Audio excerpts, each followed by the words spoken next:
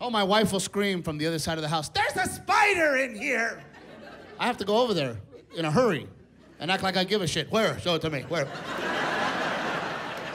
it's right there. Kill it. Go get my weapon, the napkin. That's what I use. I use a napkin and I kick the shit out of it because I'm a little scared myself. Sometimes I look in the napkin, the spider's not in there. I'm like, oh, shit.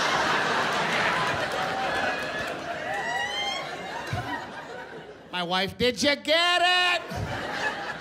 I'm a good husband. I lie to her. I got him. You go ahead and sleep tonight. I'm not. That spider saw my face.